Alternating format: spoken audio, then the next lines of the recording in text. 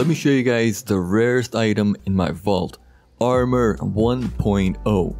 This was loved by some and hated by many, and there's a good reason for that. Number 1, it was really hard to farm this armor, and number 2, it just didn't have as much build crafting as we do in the game at the moment.